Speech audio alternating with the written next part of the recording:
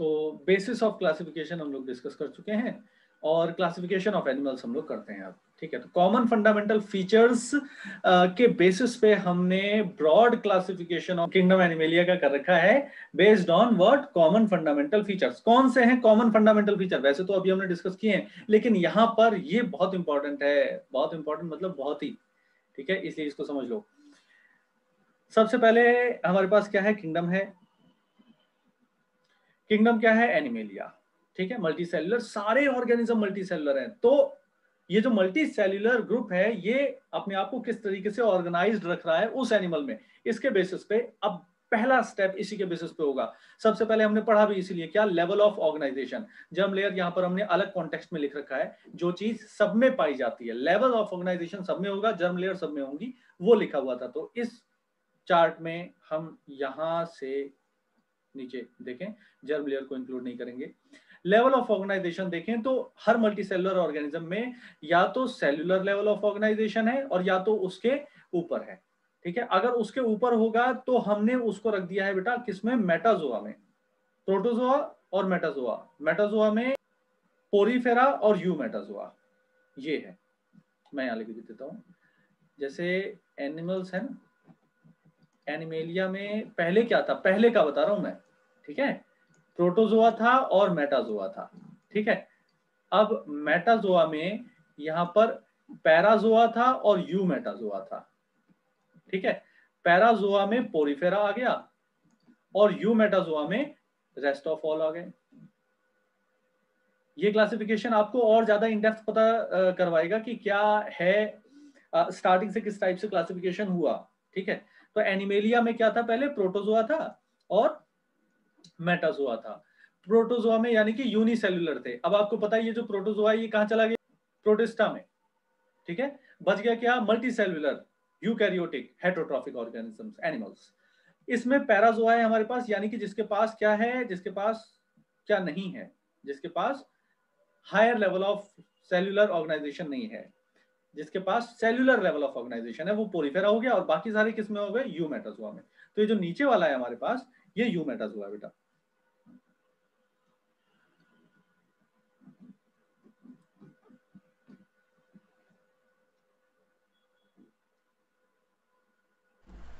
Bilateral के सामने वाला? ये सारे यू मेटाजोआ हैं। अच्छा। और ये सारे क्या है? पैराजोआ तो इसमें क्या आ गया? पोरीफेरा।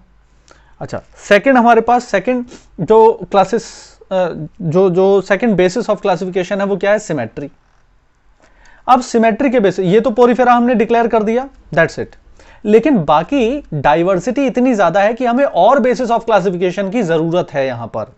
ठीक है? जैसे कि हम कह दें कि जो जो रिस्पॉन्स शो करते हैं, जिनमें कॉन्शियसनेस है, वो क्या है?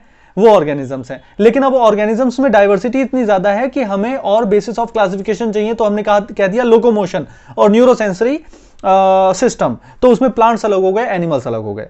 इसके बाद एनिमल्स में बहुत ज़्यादा डाइवर्सिटी हमने देखी तो उसमें फिर से बेसिस ऑफ़ क्लासिफिकेशन हमें चाहिए। ठीक है? तो ऐसा है। तो पोरीफेरा को क्लासिफाई करने के लिए और कोई बेसिस ऑफ़ क्लासिफिकेशन अपने को रिक्वायर नहीं है। तो लेवल ऑफ़ ऑर्गेनाइजेशन हम देखें तो पोरीफेरा वहाँ पर फाइला फाइलम हमने कैटेगराइज कर दिया। लेकिन यहाँ पर जो यू मेटाजोआ है, इसमें विभिन्न प्रकार की लेवल ऑफ़ ऑर्गेनाइजेशन है डिफरेंट टाइप है। तो tissue organ organ system tissue level भी है ऑर्गन लेवल भी है ऑर्गन सिस्टम भी है तो यू मेटाजोआ को फर्दर हम क्लासीफाई कर रहे हैं, ठीक है? सिमेट्री के बेसिस पे। तो सिमेट्री के बेसिस पे देखें तो रेडियल है और बाइलेटरल है। रेडियल में हमने सीधे दो फाइला डिज़ाइन कर दिए डेजिग्नेट कर दिए सिलेंड्रेटा या निडेरिया और टीनोफोरा इन दो का हो गया तो टोटल तीन फाइला हमारे क्लियर हो गए। इसके बाद जो बाइलेटरल सिमेट्री है, अब इसमें हमारे पास डिफरेंट टाइप के सिलोम वाले ऑर्गेनिजम्स हैं। तो हमने बॉडी सिलोम को तीसरा बेसिस ऑफ़ क्लासिफिकेशन माना और यहाँ पर हमने कहा कि अगर सिलोम नहीं है, अगर यहाँ पर पाउचेज हैं और या यहाँ पर ट्रू सिलोम प्रेजेंट है। तो अभी हमने बेसिस ऑफ़ क्लासिफिकेशन में सिलोम देखा ही था, ठीक है? तो प्लेटी हेलमेंस यहाँ पर आ गया ए सिलोमेट में सीडो सिलोमेट में एस्कलमेंस आ गया और जो ट्रू सिलोमेट ऑर्गेनिज्म है ट्रू सिलोम जिनके पास प्रेजेंट है, वो एनालिट से लेकर हमारे पास कॉडेटा तक आ गए। इज़ दिस क्लियर तो आप याद रखोगे, क्या सबसे पहले क्या? लेवल ऑफ़ ऑर्गेनाइजेशन फिर क्या? सिमेट्री इसके बाद सिलोम, ठीक है? तब फाइलम आएगा। और इससे ऊपर क्या है? किंगडम है। तो किंगडम से फाइलम पर जाने की जो प्रोसेस है, वो इन पैरामीटर्स के थ्रू है। कितने पैरामीटर हैं? तीन है। पहला क्या है? लेवल ऑफ़ ऑर्गेनाइजेशन जहाँ पर पोरिफेरा एक तरफ़, बाकी सारे एक तरफ़ हो गए। दूसरा सिमेट्री है जिसमें रेडियल वाले एक तरफ़ बाइलेटरल सारे एक तरफ़ हो गए। तीसरा है सिलोम, जिसमें बाइलेटरल में भी सिलोमेट सीडोसिलोमेट और ए सिलोमेट अलग अलग हो गए। इस टाइप से हमारे पास ये फ़ाइल आते हैं। कितने फ़ाइल आए देखो काउंट करो जरा। पोरीफेरा सिलेंट्रेटा यानी डेरिया। टीनोफोरा प्लेटेहेलमेंस एस्केलमेंस फिर Annelida Arthropoda Mollusca Echinodermata Hemichordata और कोडेटा यानी ग्यारह।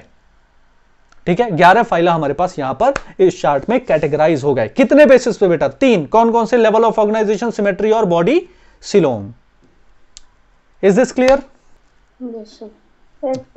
okay अब यहाँ से स्टार्ट कर रहे हैं हम पहला फाइलम ठीक है?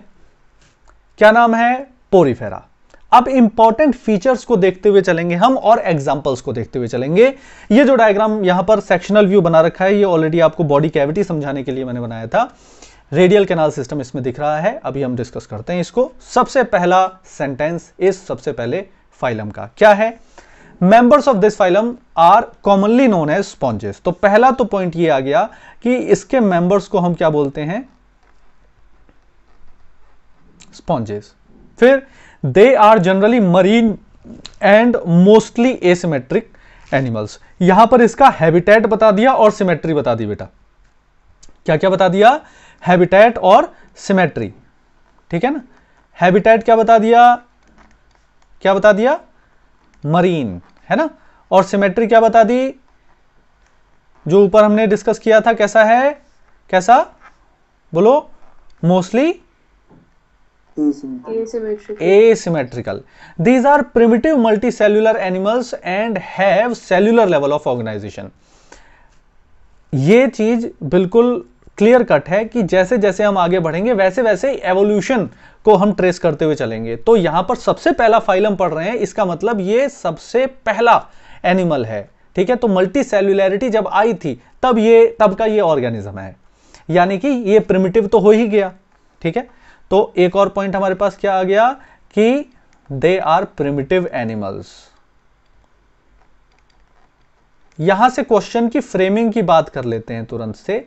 बात यह है कि क्वेश्चन दो टाइप से फ्रेम हो सकता है यहाँ पे। पहला तो ये कि पोरीफेरेंस ठीक है मेंबर्स कि मेंबर्स क्या है इसके? मेंबर्स हैं स्पॉन्जेस भी बोल सकते हैं और क्या बोल सकते हैं? पोरीफेरेंस आपसे पूछ लेंगे कि प्रिमिटिव मल्टीसेल्युलर एनिमल्स कौन से हैं? पोरीफेरेंस हैं या स्पॉन्जेस हैं। एक तो क्वेश्चन की फ्रेमिंग यहाँ पर ऐसे हो सकती है। ठीक है?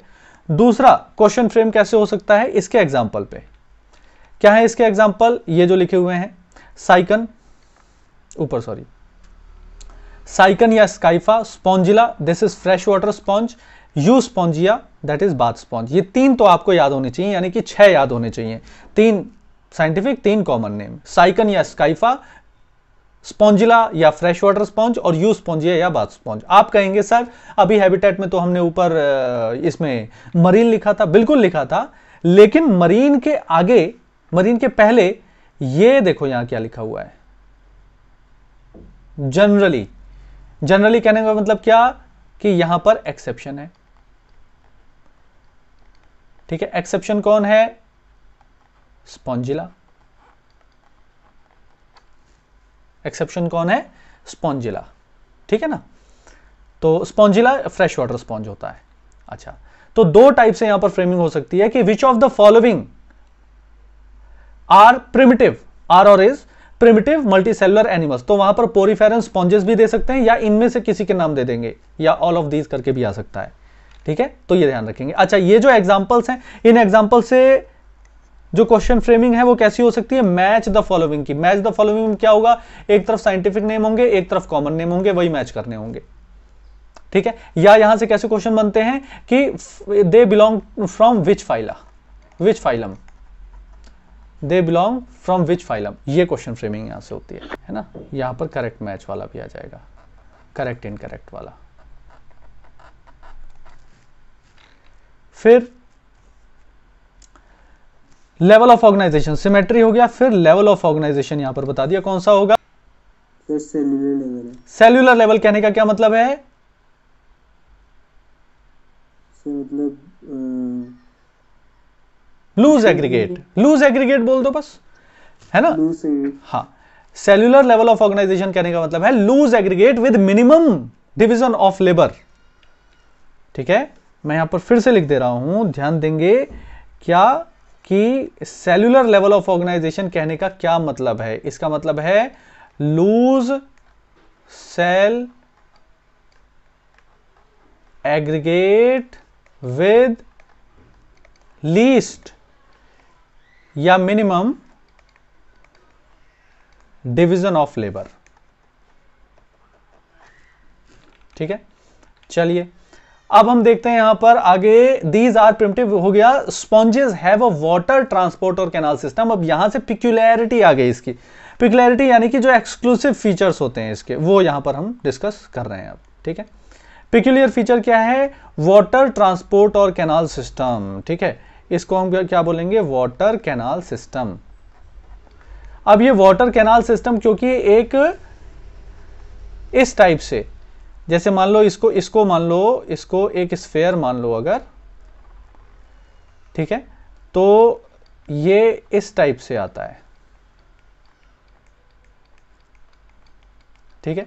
तो इसीलिए क्या बोल देते हैं इसको? रेडियल कैनाल सिस्टम है ना? क्या बोल देते हैं? रेडियल कैनाल सिस्टम तो वाटर कैनाल सिस्टम या रेडियल कैनाल सिस्टम है। यहाँ से रिलेटेड एक क्वेश्चन बेटा ये आता है आ, हम इकाइनोडर्म्स में पढ़ते हैं। हाँ इकाइनोडर्मेटा इकाइनोडर्मेटा में भी हम ऐसा एक सिस्टम पढ़ते हैं, लेकिन ध्यान रहे, उस सिस्टम का नाम क्या है? उस सिस्टम को हम क्या बोलेंगे? उस सिस्टम को बोलेंगे वेस्कुलर उसको बोलेंगे वाटर वेस्कुलर सिस्टम ठीक है?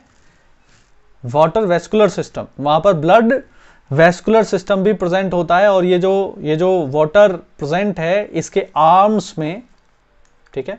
इन आर्म्स के थ्रू जो वाटर जा रहा है, वो काफ़ी थिक कैनाल सिस्टम्स हैं। वो इतने सिंपल नहीं है। ठीक है? ऐसे लगता है कि जैसे बड़ी बड़ी ब्लड वेसल्स हों। ठीक है? तो वेस्कुलर वर्ड इसीलिए यहाँ पर आ गया है। तो वाटर वेस्कुलर सिस्टम कहते हैं। यहाँ पर क्या बोला? वाटर कैनाल सिस्टम यहाँ पर बोला वाटर कैनाल सिस्टम अच्छा जी। तो वाटर ट्रांसपोर्ट और canal system water enters through minute pores ये जो, ये जितने भी पोर्स आपको यहाँ पर दिख रहे हैं, ये सारे माइन्यूट पोर्स हैं। और माइन्यूट पोर्स की हेल्प से वाटर एंटर कर रहा है। यहाँ पर हमने उसको बनाया था। ठीक है? These are ostia ostium singular है ऑस्टिया प्लूरल हो जाएगा।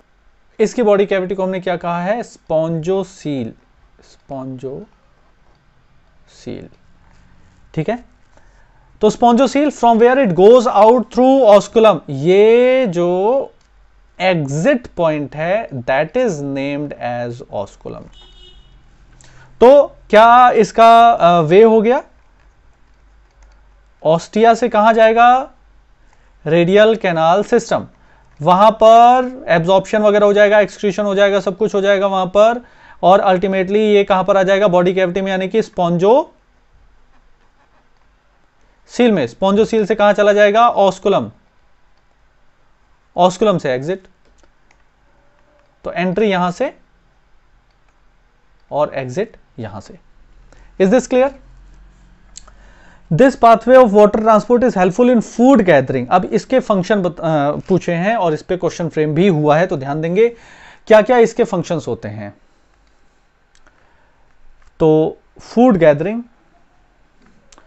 फिर रेस्पिरेटरी एक्सचेंज यानी कैसे से एक्सचेंज फिर एक्सक्रीशन यानी कि रिमूवल ऑफ़ वेस्ट यानी कि न्यूट्रिशन ब्रीदिंग एंड एक्सक्रीशन ये तीनों ही यहाँ पर हो रहे हैं। कोई और अलग से multi cellular higher higher complexity वाला कोई ऑर्गन सिस्टम यहाँ पर प्रेजेंट नहीं है। इज़ दिस क्लियर ये हो गया क्लियर हो गया। रेडियल कैनाल सिस्टम क्या है और क्या रूट होगा और इसके फ़ंक्शंस क्या होते हैं? हम्म अच्छा। फ़ूड गैदर तो हो गया, ठीक? लेकिन ये जो फ़ूड गैदर हुआ है, ये एक्चुअली गया कहाँ है? और जहाँ पर भी गया है, वहाँ पर ये जो ब्रेकडाउन है डाइजेशन है, वो कैसे होगा? उसको हम डिस्कस करें। तो ये जो सेल्स बनाई हुई है यहाँ पर, ये जो सेल्स बनाई हुई हैं, ये यूनिफ्लैजिलेटेड सेल्स होती हैं। ठीक है?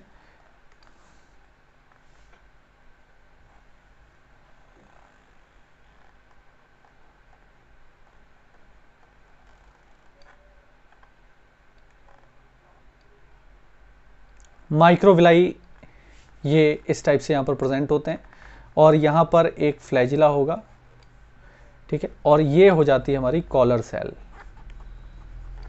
या और क्या बोलते हैं इसको? कोइनो साइट ठीक है? अब फ्लैजिला है तो फ्लैजिला का मतलब क्या हो गया कि एक वाटर करंट यहाँ पर मेंटेन करने की बात हो गई। फिर ये जो परफोरेटेड माइक्रोविलाई है बेटा, ध्यान रहे? कैसे हैं ये? परफोरेटेड माइक्रोविलाई परफोरेटेड माइक्रोविलाई होने से क्या हो गई? फ़िल्टर फीडिंग हो गई। यानी कि सारे सब्सटेंसेस इसके अंदर नहीं जाएँगे। ये न्यूक्लियस मान लो इसका।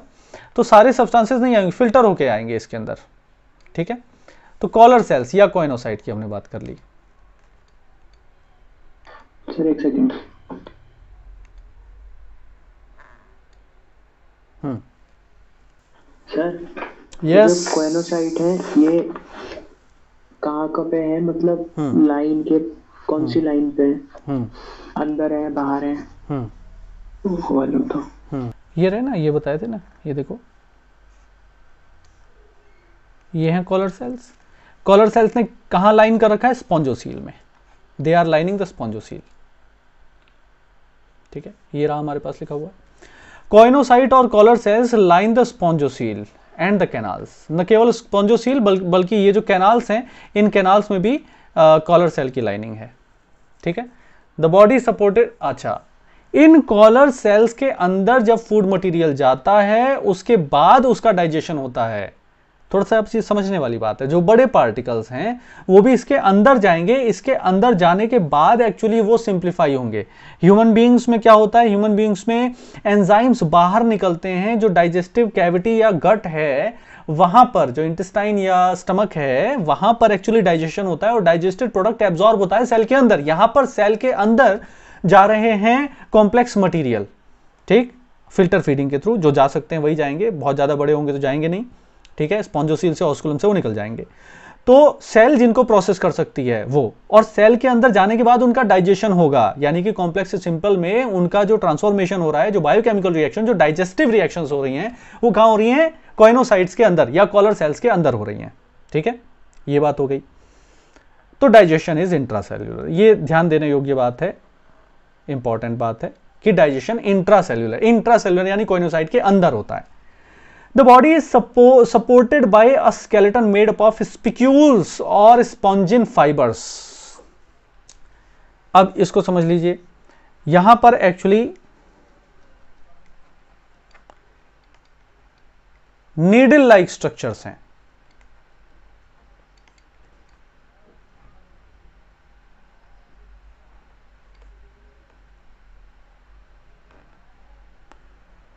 ट्राई रेडिएट बाई रेडिएट इस टाइप से करके ये नीडल लाइक स्ट्रक्चर्स हैं। इन्हीं को क्या कहते हैं? स्पिक्यूल्स और बाकी क्या है? जैसे हमारे अंदर कोलेजन फाइबर सपोर्टिव होता है ऐसे इसके अंदर क्या है? स्पॉन्जिन फाइबर्स हैं।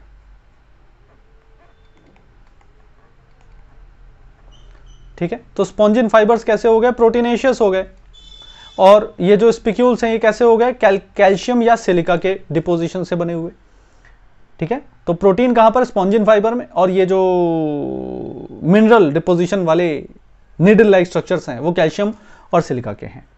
तो स्पिक्यूल्स हो सकते हैं या स्पॉन्जिन फाइबर्स हो सकते हैं इसमें। अभी दिखाया नहीं है इसको आप ऐसे ऐसे यहाँ पर ऐसे ऐसे ऐसे मान सकते हो। सर। जो इसकी सरफेस से भी थोड़े से निकले हुए रहते हैं। यस सर इन्होंने लिखा मेड अप ऑफ़ स्पिक्यूल और स्पॉन्जिन फाइबर्स बिल्कुल। तो इसका ये मतलब नहीं हुआ स्पिक्यूल या स्पॉन्जिन फाइबर? हाँ मतलब तो वही हुआ क्योंकि और लिखा हुआ है। तो फिर हमने तो दो स्ट्रक्चर पढ़ दिए पर इसी में स्पिक्यूल भी और स्पॉन्जिन फाइबर भी। क्योंकि ऐसा होता है। तो इन्हें एंड लिखना चाहिए था। नहीं ये अपनी जगह सही है। कैसे सही है वो मैं बता रहा हूँ। इन्होंने कहा है स्केलेटन स्पिक्यूल्स और स्पॉन्जिन फाइबर यानी कि स्केलेटन जो है या तो स्पिक्यूल्स का होता है और या तो स्पॉन्जिन फाइबर का होता है। इन्होंने ये नहीं कहा कि स्पिक्यूल्स स्पॉन्जिन फाइबर है, ये उस टाइप की सेंटेंस फ्रेमिंग नहीं है। ठीक है? ये उस टाइप की सेंटेंस फ्रेमिंग नहीं है जहाँ पर स्पिक्यूल्स का मतलब हम स्पॉन्जिन फाइबर समझें। यहाँ पर स्केलेटन की बात हो रही है। ठीक है? देखो लिखा है क्या? The body supported by a skeleton made up of spicules skeleton made up of spicules और skeleton made up of spongin fibre ऐसे मतलब समझो इसका। ठीक है ना? तो दोनों ही हो तो सकते हैं। मतलब skeleton made up of spicule तो उसमें स्पॉन्जिन फाइबर नहीं होगा जो स्केलेटन स्पिक्यूल में बना होगा। एक क्लास होती है जिसमें दोनों भी होते हैं। अच्छा मतलब ऐसा ही होता है कुछ। यस दोनों भी होते हैं। ठीक है ऐसे ऐसी भी क्लास है। और सर जो कैल्शियम के बने हुए स्पिक्यूल्स होते थे उन्हें भी कुछ कहते थे शायद। कैलकैरियस और सिलीशियस। हाँ है। ना? सेक्सेस आर नॉट सेपरेट अब हम आ गए रिप्रोडक्शन पे। अब हम आ गए रिप्रोडक्शन पे। रिप्रोडक्शन की बात करते हैं तो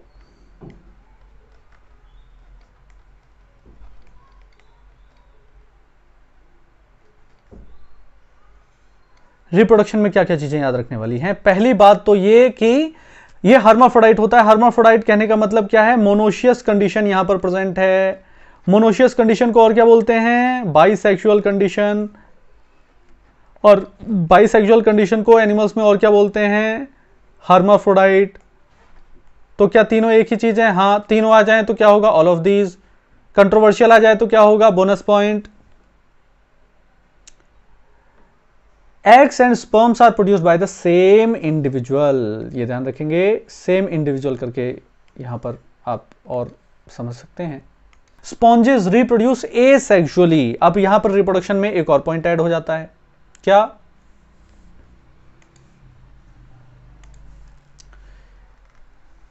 रिप्रोडक्शन यहाँ पर ए सेक्सुअल भी हो सकता है। कैसे होगा? फ्रेगमेंटेशन से और बडिंग से। ठीक है? बडिंग इसमें कैसी होती है? इंटरनल उसको क्या बोलते हैं? जेम्यूल फॉर्मेशन रिप्रोडक्शन वाले चैप्टर में हम पढ़ चुके हैं। इंटरनल बड या जेम्यूल्स बनते हैं। जेम्यूल फॉर्मेशन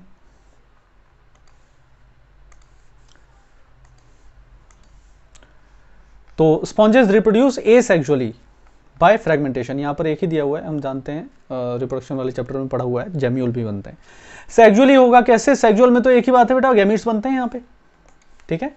सेक्सुअल होगा तो इसमें गैमिट्स बनने ही है। तो गैमिट्स तो बनेंगे। लेकिन जैसे कि हमने स्टार्टिंग में भी कहा था रिप्रोडक्शन एक ऐसा पैरामीटर है जो कि बड़ा कॉम्प्लेक्स पैरामीटर है।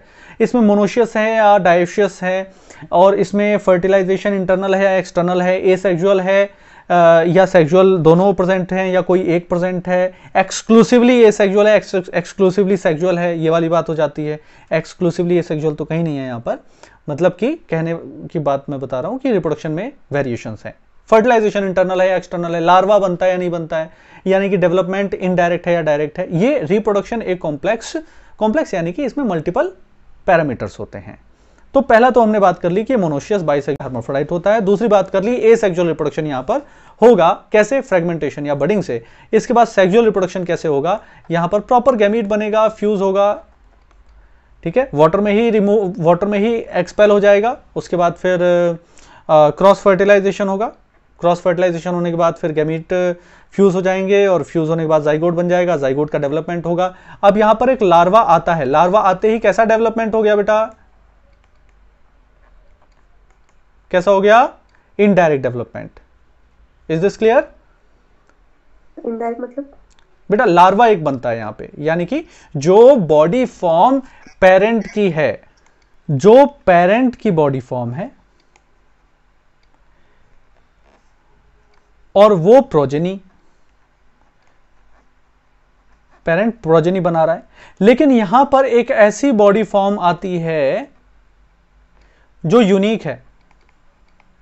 यूनिक है, यानी कि ना तो वो पेरेंट से मिलती है और ना ही वो प्रोजेनी से मिलती है। उसी को हम क्या कहते हैं? लार्वा और जहाँ जहाँ पर ऐसा बनता है, वहाँ पर हम कहते हैं कि डायरेक्ट डेवलपमेंट नहीं है। जैसे ह्यूमन बींग के केस में है कि ह्यूमन बींग जैसा ही बनता है बेबी एम्ब्रियो ठीक है? लेकिन यहाँ बॉडी फॉर्म अलग होती है, उसकी हैबिट हैबिटेट भी अलग हो सकते हैं। ठीक है ना? तो उसको लार्वा कहते हैं। तो जहाँ जहाँ लार्वा बनेगा बेटा, वहाँ वहाँ पर क्या हो जाएगा? आईडी जहाँ जहाँ पर एक ऑर्गेनिज्म से निकल के दूसरे ऑर्गेनिज्म में गैमिट जाता है फ्यूजन करता है तो वहाँ सीएफ हो जाएगा। सीएफ मतलब क्रॉस फर्टिलाइजेशन ठीक है? तो सीएफ और आईडी यहाँ पर होगा। इज़ दिस क्लियर ठीक है? और जो क्रॉस फर्टिलाइजेशन है क्रॉस फर्टिलाइजेशन का मतलब यह है कि जो मेल गैमीट है, वो जो दूसरा ऑर्गेनिज्म होगा हर्माफ्रोडाइट वाला ही, वहाँ पर जाके एग सेल से मेट करता है। ठीक है? यानी कि यहाँ पर और क्या हो रहा है? इंटरनल फर्टिलाइजेशन यानी कि आईएफ इंटरनल फर्टिलाइजेशन है। और लार्वल स्टेज आती है विच इज़ मॉर्फोलॉजिकली डिस्टिंक्ट वो तो होती है लार्वल स्टेज कोई भी एडल्ट से मॉर्फोलॉजिकली सिमिलर नहीं होती। है तो कहने का एक तरीका है, देखो।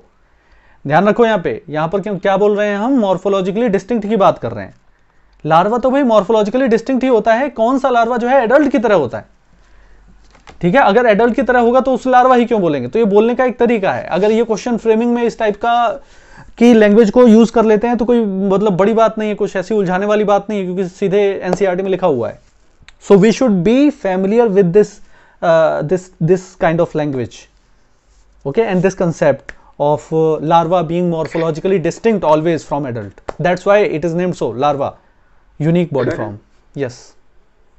Sir इन्होंने बोला कि रिप्रोडक्शन जो है वो हर्मा ये हर्माफ्रोडाइट है ठीक है? हम्म फिर इन्होंने बोला है कि जो फर्टिलाइजेशन है वो इंटरनल है। हाँ हाँ। तो अगर किसी को ये नहीं पता होगा कि इसमें क्रॉस फर्टिलाइजेशन होता है हाँ। तो वो तो यही सोचेगा कि अपने अंदर ही कर रहा है रिप्रोडक्शन बिल्कुल। है ना? बिल्कुल। तो वो गलत हो जाएगा फिर। बिल्कुल गलत हो जाएगा। फाइलम सिलेंट्रेटा की तरफ़ बढ़ते हैं इसको ब्रीफ कर लेते हैं। फाइलम पोरिफेरा हमने पढ़ लिया। मोस्टली एसिमेट्रिक और मोस्टली मरीन होते हैं।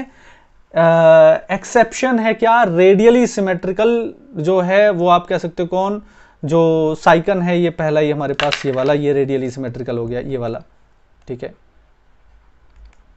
रेडियल हो गया। ये सारे एसिमेट्रिक हैं।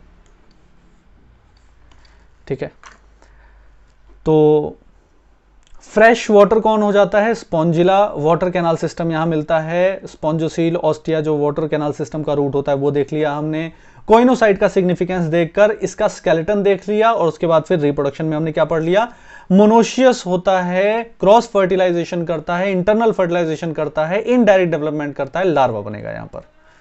एग्ज़ाम्पल क्या यहाँ पर हो जाएँगे? एग्ज़ाम्पल में आएगा साइकन या स्काइफा, स्पॉन्जिला या fresh water sponge, you Spongia या बाथ स्पॉन्ज यू स्पॉन्जिया या बाथ स्पॉन्ज तो क्या क्या हो गया? साइकन। साइकन मतलब स्काइफा।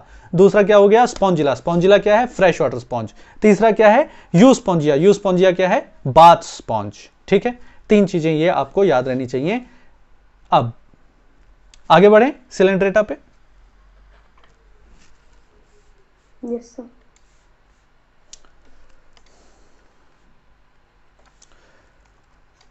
फाइलम सिलेंट्रेटा या निडेरिया। ठीक है। अब यहाँ पर अ, इसको इसको हम पढ़ें आगे बढ़ें उससे पहले यहाँ पर नॉमन की बात कर लेते हैं। क्यों है ये सिलेंट्रेटा क्यों है? ये निडेरिया ठीक है? निडेरिया वाला तो यहाँ पर दिया हुआ है। The name Cnidaria is derived from cnidoblast और नीडोसाइट्स ठीक है?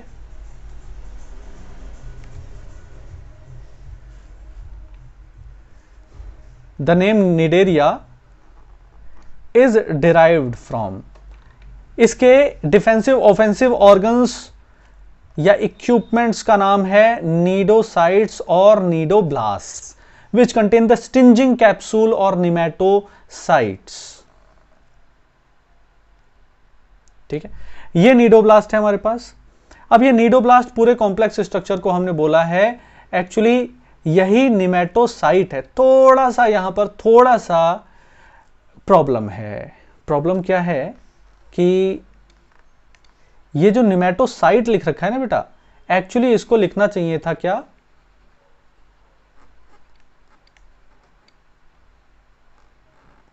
Nematocyst because this is nematocyst और nematocyst is the stinging capsule which is present inside what? Nematocyte और नीडोसाइट और cnidoblast these things are common these things are equal stinging capsule और nematocyst आएगा। क्या है निमेटोसिस्ट इसके अंदर ये जो है। सर? यस सर नई वाली सिस्टी लिखा हुआ। है ना? हाँ जी। नई वाली में सिस्ट ही लिखा हुआ है। हाँ तो ये बात ध्यान रखेंगे। तो यहाँ पर ये निमेटोसिस्ट है। ठीक है, ये पूरा निमेटोसाइस्ट है। निमेटोसाइस्ट है। ये लासो कहलाता है, ये माइटोकॉन्ड्रिया, ये न्यूक्लियस, और मतलब ये ये जो है अपना नीडोसील, ये कवरिंग फ्लैप है, और ये नीडल्स हैं यहाँ पर, और ये जो है हमारे पास।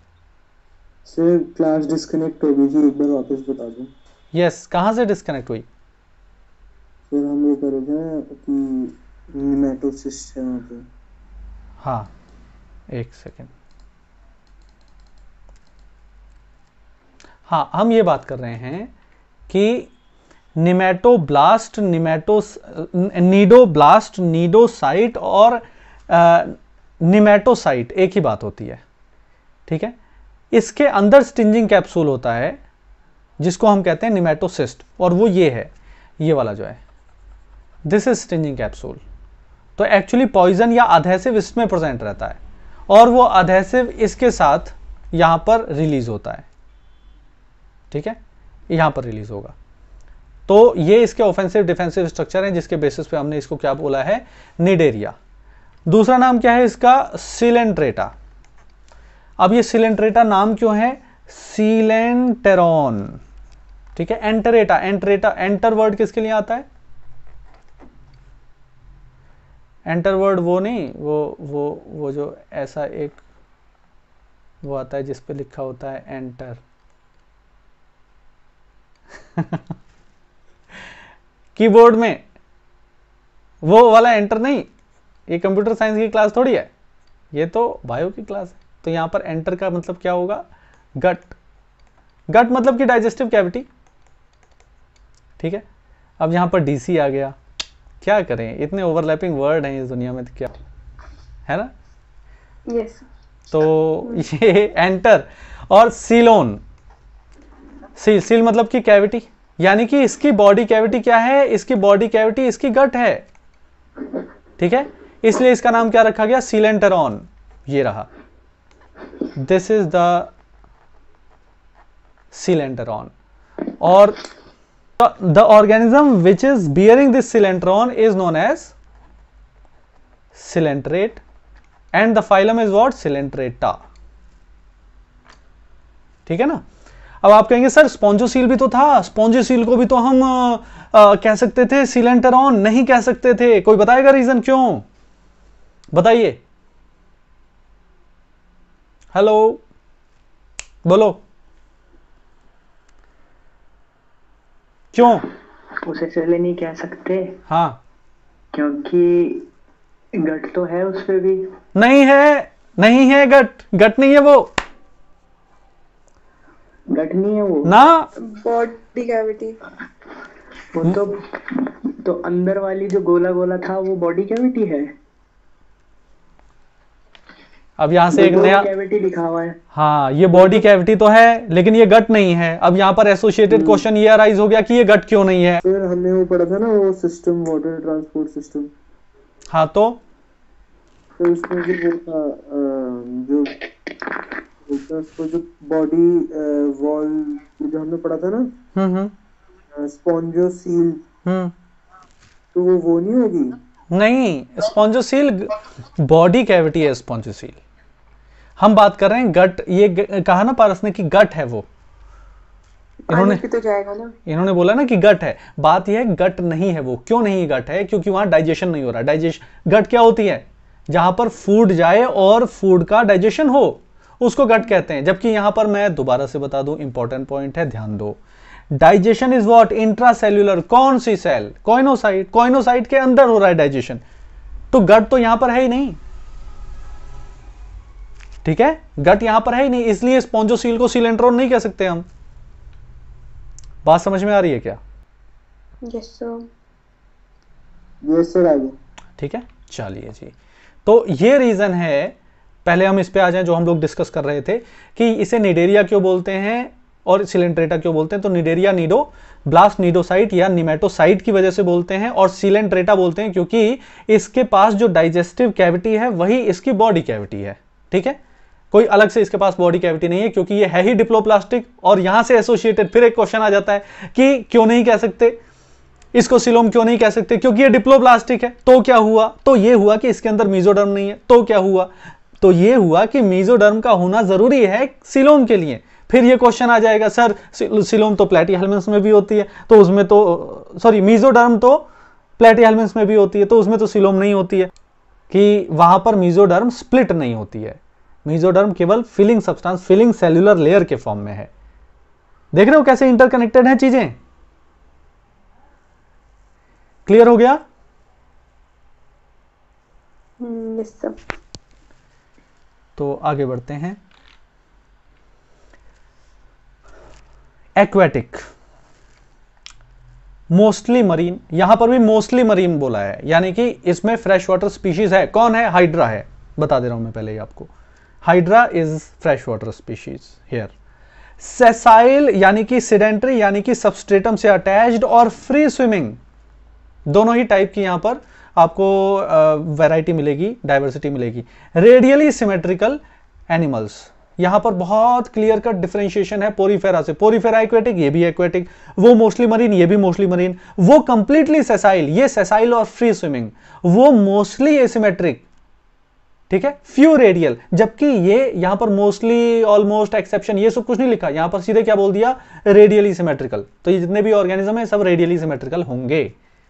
ठीक है? दोनों एक्वेटिक दोनों मोस्टली मरीन दोनों सेसाइल लेकिन वो कंप्लीटली सेसाइल ये सेसाइल और फ्री स्विमिंग दोनों।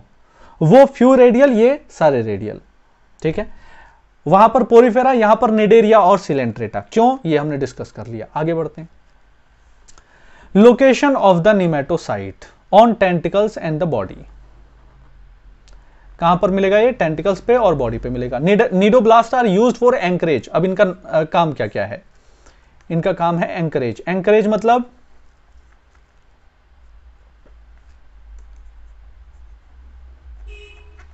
एंकरेज मतलब प्रोत्साहन करना। पकड़ के रखना। हाँ। वो ये वाला एनकरेज होता है। क्या कह रहे हो आप? सर मुझे लगा आप मीनिंग पूछ रहे हो। मतलब प्रोत्साहन ही होता है। मैंने कहा यस नहीं प्रोत्साहन मैं मीनिंग ही पूछ रहा था। मैं हाँ, मीनिंग हाँ मीनिंग ही पूछ रहा था लेकिन ये वो वाला एनकरेज ये होता है। हाँ एनकरेजमेंट हाँ हूँ। ठीक है। और ये है जो एंकर डालते हैं ना सो दैट सो हाँ, दैट उसको अटैच कर पाए। हाँ। हाँ। पकड़ के उसको रखें। जो प्रे होगा जो जो सबस्ट्रेटम होगा वहाँ से चिपक पाए ये अधेर हो पाए। ठीक है? अटैच हो पाए। तो अटैचमेंट के लिए यहाँ पर एनकरेज वर्ड यूज़ किया गया है। Defence and for the capture of prey इन तीन चीज़ों के लिए नीडोब्लास्ट यूज़ होता है। सर हाँ जी। सर इसमें टेंटिकल्स है कहाँ? डायग्राम में? ये रहे। Cnidarians exhibit tissue level of organisation जैसा कि हम पहले पढ़ चुके हैं। बेसिस ऑफ़ क्लासिफिकेशन अगर आप अच्छे से कर जाते हैं with the example of phyla तो आपका आधा चैप्टर बेटा वहीं पर कंप्लीट हो जाता है। तो देखो, दोबारा से आ गया क्या? यहाँ पर टिश्यू लेवल ऑफ़ ऑर्गेनाइजेशन वो हमने पढ़ रखा है। जर्म लेयर में डिप्लोप्लास्टिक के अंडर हमने इसको कैटेगराइज कर रखा है। अच्छा अब यहाँ देखिए। They possess a central gastrovascular cavity central gastrovascular cavity. With single opening तो डाइजेस्टिव ट्रैक्ट कैसा हो गया? इनकम्प्लीट ठीक है? एनिमल किंगडम में हमारे पास 11 फाइला हैं। 11 Porifera Coelenterata Ctenophora Platyhelminthes Aschelminthes Annelida Arthropoda Mollusca Echinodermata Hemichordata कोडेटा ये 11 हो गए। आठ बेसिस ऑफ़ क्लासिफिकेशन है। लेवल ऑफ़ ऑर्गेनाइजेशन है सिमेट्री है जर्म लेयर है सिलोम है सेगमेंटेशन है नोटोकॉर्ड है और digestive tract complete incomplete circulatory system open और क्लोज्ड ये आठ हो गए। इसके बाद पोरीफेरा में हमने क्या पढ़ लिया? मोस्टली मरीन कौन है fresh water Spongilla fresh water sponge ठीक है? मोस्टली एसिमेट्रिकल रेडियल कौन है? साइकॉन साइकॉन ठीक है? फिर बास स्पॉन्ज कौन है? यूस्पॉन्जिया ठीक? लेवल ऑफ़ ऑर्गेनाइजेशन यहाँ पर क्या हो जाता है? सेल्यूलर डाइजेशन कैसा है? इंट्रा इंट्रासेल्यूलर पिक्यूलियर सेल्स कौन सी होती हैं? कॉइनोसाइट ठीक है? पिक्यूलियर सिस्टम क्या है? वाटर कैनाल सिस्टम क्या काम करता है? फ़ूड गैदरिंग भी करेगा एक्सक्रीशन भी करेगा और वहीं से एक्सचेंज ऑफ़ गैस भी होगा, ठीक है? स्केलेटन के नाम पे क्या है? यहाँ पर स्पिक्यूल्स हैं और स्पॉन्जिन फाइबर हैं, ठीक है? फिर रिप्रोडक्शन में कैसा है? मोनोशियस हर्मोफ्रोडाइट और बाइसेक्सुअल है। दोनों गैमीट एक ही ऑर्गेनिज्म के अंदर बनेंगे। फिर सी एफ़ आई एफ़ और आई डी याद रखो। C F I F I D cross fertilisation internal fertilisation indirect development indirect development क्यों? क्योंकि लार्वा बनता है। मॉर्फोलॉजिकल डिस्टिंक्ट होता है फ्रॉम एडल्ट खत्म। तो डाइजेस्टिव ट्रैक्ट है इनकम्प्लीट कि अगर हम पढ़ रहे हैं तो पढ़ते पढ़ते ये भावना आती है। ये दिमाग में आइडिया आता है, यार इसको मैं याद भी तो करना है। ठीक है? तो बस उसे आने दो और जाने दो, उस उस फीलिंग को पकड़ो मत। पकड़ लिया तो जो हम अभी पढ़ रहे हैं, समझ रहे हैं, वो डिस्टर्ब हो जाएगा। ठीक है? मस्ती से पढ़ो। अच्छा इसमें ये भी होता है? अरे वाह, इसमें ये भी होता है? वाह। तो जो सामने है ना, उसको हम करेंगे तो एफिशिएंटली होगा। तो चिंता में मत पढ़ो चिंता में मत पढ़ो जब इसको पढ़ो तो ये भूल जाओ, इसको याद भी तो करना है, कैसे होगा? ना, हो जाएगा। जब याद करने पे आएँगे तो केवल याद करेंगे। समझने पे आए तो केवल समझेंगे। ऐसा। गैस्ट्रोवेस्कुलर कैविटी एक दूसरे से रिलेटेड चीज़ें हैं। कैसे हैं? अभी हम बात कर रहे हैं गैस्ट्रोवेस्कुलर कैविटी की। वो क्या होती है? यही सिलेंट्रॉन इसी को हमने कहा गैस्ट्रोवेस्कुलर कैविटी। एक दूसरे से रिलेटेड है। यही है गैस्ट्रोवेस्कुलर कैविटी। एक ही बात को बार बार रिपीट किया जा रहा है। अलग टर्म है बस। सिलेंट्रोन सिलोम, इसकी गठ ही सिलोम है। ठीक है? देखो, अब मैं इतना डीप में पढ़ा रहा हूँ आपको कि क्यों बोलते हैं इसको ऐसा। ये इसीलिए पढ़ा रहा हूँ जिससे ये अच्छे से याद हो पाए। अदरवाइज़ इसमें इतना ज़्यादा डीप जाने की ज़रूरत ही नहीं। हाँ भाई सिलेंट्रेटा है, इसमें ये ये चीज़ें होती हैं, ठीक है? हो गया। ठीक है? लेकिन क्यों होती हैं, वो ज़्यादा लॉजिकली आपको समझ में आ पाएगा और याद में रह पाएगा। गैस्ट्रोवेस्कुलर, गैस्ट्रो गैस्ट्रो इंटेस्टाइन से रिलेटेड वेस्कुलर यानी कि सर्कुलेशन से रिलेटेड है ना? गैस्ट्रो किससे है? यही गट से रिलेटेड है और वेस्कुलर किससे रिलेटेड है? सर्कुलेशन से। यानी कि यहाँ पर यहाँ पर जो भी फ़ूड पार्टिकल आ रहे हैं, उनका डाइजेशन तो होगा ही। उसके बाद डाइजेस्टेड प्रोडक्ट जो है, यहाँ पर घूमता हुआ फिर वापस जाएगा। यानी कि उसका सर्कुलेशन भी होगा। है ना? तो डाइजेशन भी हो रहा है और सर्कुलेशन भी हो रहा है। इसलिए हमने क्या कहा? गैस्ट्रोवेस्कुलर कैविटी और सिंगल ओपनिंग हाइपोस्टोम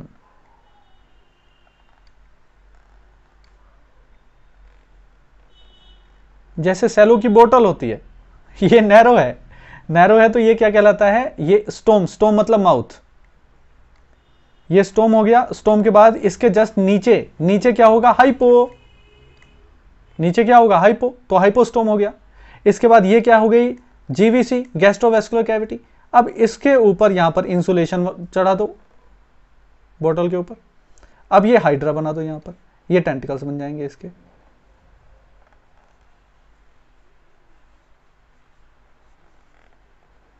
बस। तो ये ये स्टोम हो गया, ये हाइपोस्टोम हो गया, ये गैस्ट्रोवेस्कुलर कैविटी हो गई, ये हाइपोबेसल डिस्क हो गई, जहाँ से कहीं से अटैच रहेगा।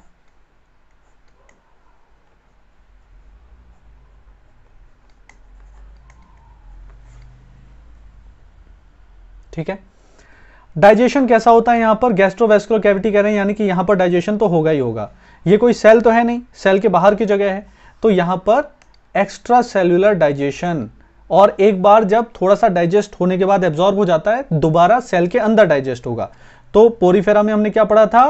कंप्लीटली इंट्रासेलुलर यहाँ पर क्या हो गया? Extra cellular as well as intracellular अभी आगे देखेंगे कंप्लीटली एक्स्ट्रा सेलुलर हो जाएगा। ये एवोल्यूशन हो रहा है। पहले इंट्रासेलुलर फिर इंट्रा प्लस एक्स्ट्रा आगे तो वो आ जाएगा हमारे पास प्लेटिहेलमेंस एस्केलमेंस जिसमें कि पैरासाइट्स होते हैं तो एब्जॉर्प्शन हो जाएगा उसमें उसमें डाइजेशन का इतना नहीं पढ़ेंगे हम। हम सीधे एनेलिडा में जब पढ़ेंगे तो एक्स्ट्रा सेलुलर है वहाँ पर इंट्रासेलुलर है ही नहीं। ये था भाई हमारा। फाइलम सिलेंट्रेटा इतना। रिप्रोडक्शन से पहले पहले तक का। हाँ जी। इतना ही करें इतना ही करना है। दो ही फाइलम तो हुए हैं। दो ही तो ये कोयल नहीं है। ये सील लिखा हुआ है। कुछ पता नहीं है भाई। क्या पता? कोयल समझ लें। पोरीफेरा सिलेंट्रेटा ये दो हमने किए हैं। सिलेंट्रेटा अभी नहीं किया है पूरा। आ, इसका जो पॉलीपर मेड्यूसा वाला है वो हम करेंगे। ठीक है? पॉलिप में टेंटिकल्स ऊपर रहते हैं मेडिसा में नीचे रहते हैं। ये सिंपल सी बात है बेसिक सी समझने वाली। तो इसको हम कल करते हैं रिप्रोडक्शन जो एस्पेक्ट है सिलेंट्रेटा का फिर प्लान ओके चलिए। ठीक है? Okay thank you bye bye नमस्ते नमस्ते।